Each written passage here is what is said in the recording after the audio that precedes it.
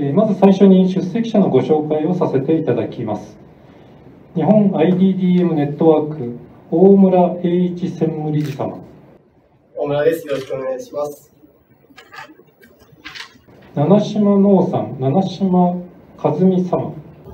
七島です。よろしくお願いします。佐賀大学医学部附属病院長山下修一。山下でございます。佐賀大学医学部附属病院副病院長安西慶三。え安西でございます。よろしくお願いします。佐賀大学医学部附属病院看護部長藤光幸子。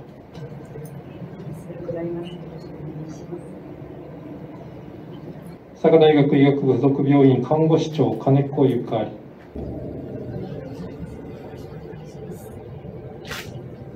佐賀大学医学附属病院副看護師長長淵美希佐賀大学医学部附属病院慢性疾患看護専門専門看護師藤井純子。藤井でございます。よろしくお願いします。佐賀大学医学部附属病院慢性疾患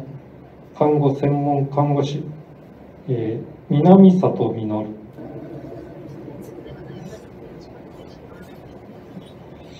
以上、えー、本日の出席者でございます。えー、続きまして、えー、看護職員の支援をいただきます日本 IDDM ネットワーク大村専務理事様よりご挨拶をいただきます。よろしくお願いします。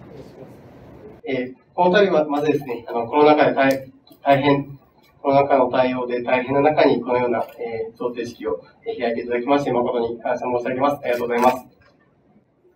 えー、私たち日本 IDDM ネットワークは1型糖尿病をはじめ、毎日のインスリン補充を必須とする患者家族の支援団体です。私自身も1型糖尿病の患者なんですが、私たち患者は、やはりですね、看護職員の方々の支援なくしては、日々の治療を行うことができません。そういった中でですね、本当に感謝を申し上げたいと思いますし、やはりこのようなコロナ禍の対応をいただいている、もう最前線で戦われている看護職の皆様に、心より感謝申し上げます。私たちは普段はですね、えー、佐賀大学さんなどをはじめ、研究機関に、えー、1型、あ1型糖尿病の根絶を目指した研究に対して助成金贈呈を普段は行っております。えー、なんですけれど、私たちはですね、やはり、この、佐賀県、え、佐賀市、そして柳町佐賀市の柳町に、あの、事務局を置いているんですが、そんな佐賀に恩返しをしたいという思いもございました。そして、私たちが、え、そういう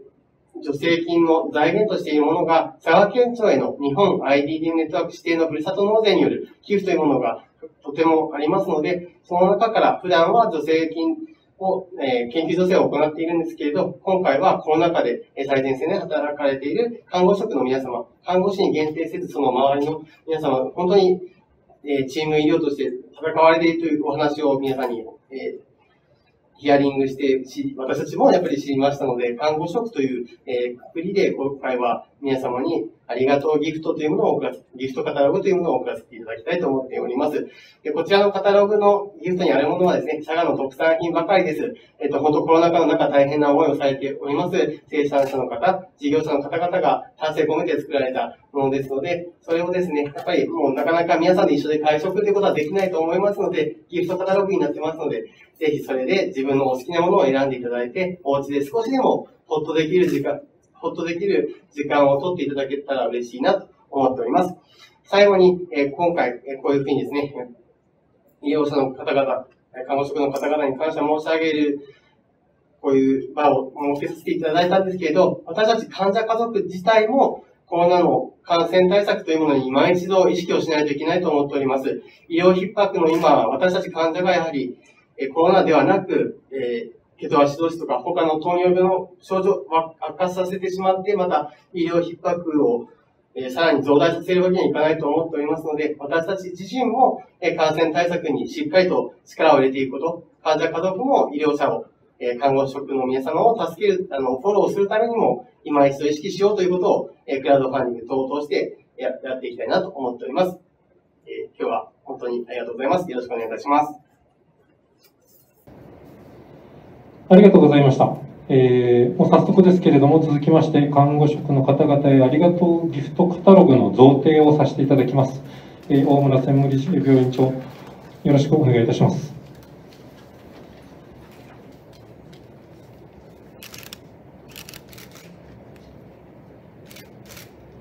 カタログをもうちょっと上げてもらえますか？あ、ここら辺で。はい、OK です。ありがとうございます。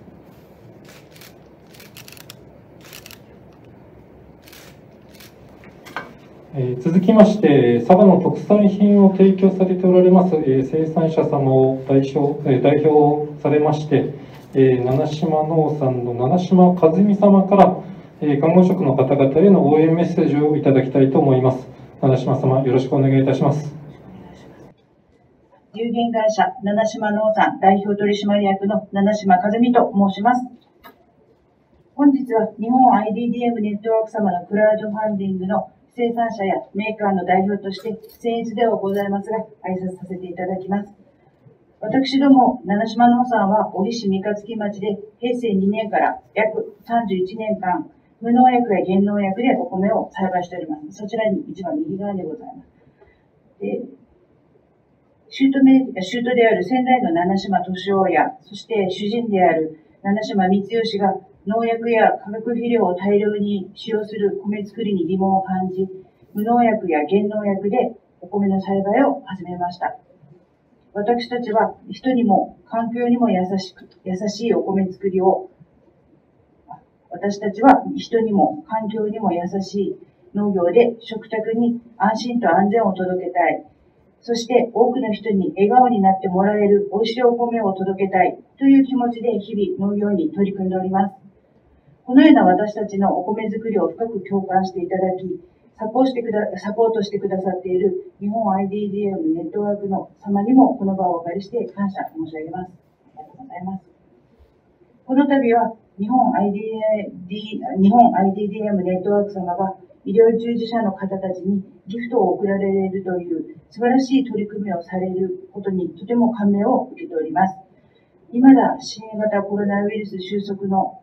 兆しが見えない状況下で医療従事者の皆様のお仕事は私たちには想像もつかないほどご苦労があることとお察しいたします。言葉では言い尽くせないほどの感謝の気持ちでいっぱいです。ありがとうございます。看護職の皆様に私たちの生産したお米や農産物、あのメーカーさんたちの商品がございますけれども、あの美味しく召し上がっていただいて、あの笑顔になっていただければ生産者のよりにつき嬉しく思います。私は数年前に初期のがんが見つかって病気と向き合ったことがあります。おかげさまで現在のところは再発もなく、仕事などで忙しい日々を過ごしております。でも闘病中はこのまま命が尽きてしまうかもしれないという恐怖や絶望感に心を支配されておりました。でその苦しい時期にあの医師の先生や看護職の皆様にどれだけ励まされても救われたか、この言葉ではその言い尽くせない、言い尽くせません。今この病院に入院されている患者さんたちもきっと同じ気持ちを持た持たれていると思います。この佐賀大学医学部附属病院では家族や友人、知人もたくさんお世話になっております。ここで代表として看護職の皆様、先生にお礼を言いたいと思います。ありがとうございます。最後になりましたが、皆様のますますのご健勝とご活躍を心よりお祈り申し上げます。拙い挨拶にお付き合いいただいてありがとうございました。七島様、ありがとうございました。えー続きまして、えー山下病院長よりお礼のご挨拶がございます。本当にあの、今回はありがとうギフトカタログということで、えー IDDM ネットワーク様、それからあの、七島様、本当にありがとうございます。あの、看護師、それから看護師の周辺の、えーまあ、職に当たっているものって、今、とっても、えーやっぱり閉塞感もあるし、かなり重症、我々のところを見てるので、かなり厳しい状況でですね、しかも長い時間、あの PPE を着て、きつい思いをしているというところで、なんとか励ましたいなと思ってたところなんですけど、まあ、これだけの素晴らしいものをいただけて、もう本当に、えーみんなすごい励みになると思います。えー病院長病院長っていうのが看護職周辺になるかどうかちょっと気になるところですけれども、まああの、看護師も含めて看護職が元気になってくれば、もちろんかん、その下に、その看護をする対象の患者様たちも、あの、非常にいい状況になると思いますので、いいてはそのコロナに限らず、えー、佐賀大学で治療を受けていただく患者様たちに対する、えー、すごい応援になるんだろうというふうに思っております。また、IDDM ネットワーク様にはもう研究のことに関しても大変お世話になっておりまして、ここで、えー、改めてお礼を申したいと思います。申し上げたいと思います。えー、これからも、えー、我々頑張って、えー、コロナの患者さんに限らず、えー、佐賀県の砦として精一杯頑張ってまいりますので、えー、ぜひ変わらぬ、応援をお願いしたいと思います。本日は本当にありがとうございます。ありがとうございました。えー、以上をもちまして、えー、日本 IDDM ネットワーク様からのクラウドファンディングによる看護職員への支援に伴う贈呈式を終わらせていただきます。